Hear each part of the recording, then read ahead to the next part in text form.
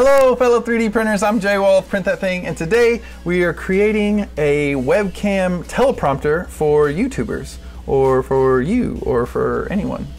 Anybody who needs a teleprompter on their computer or laptop. uh, yeah, so we used to use this old handmade teleprompter that my lover lady Amber made. Thanks, Amber. And she used a, an old picture frame and a tablet and it worked really well. That's what we shot like most of the 3D nuggets on and all that, and it it did its job. But now we've designed a 3D printable teleprompter that is super light, super strong, and works relatively well. Uh, this design can be printed in one solid piece. I'm really proud of that. Uh, with or without supports, and then you just have to buy a piece of glass that you can get from an old picture frame, like an eight and a half by 11 picture frame. A little, maybe like a black cloth that you can throw on just to kind of cut out some of the reflections. You see how, ooh, then you just download your favorite teleprompter app and you are good to roll. That's it. That's all you have to do. We 3D printed this with a translucent green from wyzworks.com.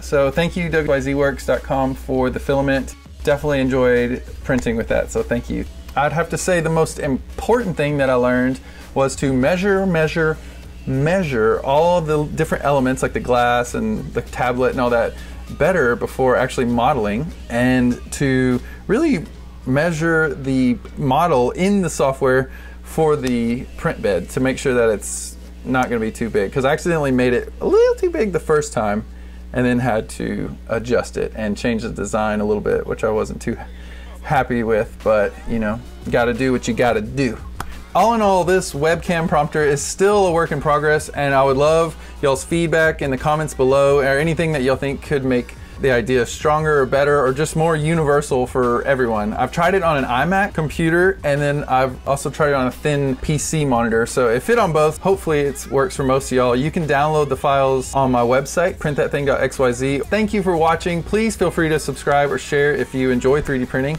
And we also started a Patreon a few weeks ago. So if you'd like to help pick some of the upcoming ideas or get early access to all the YouTube videos, STLs, and see just kind of like behind the scenes stuff, then uh, you can join the $1 Holla Club by following the link below.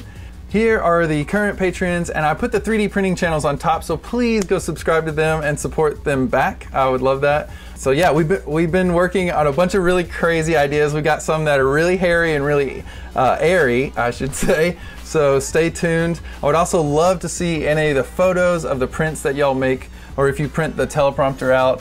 Uh, yeah, so hope you have a good rest of the week. Uh, happy printing, and I'll see y'all next time.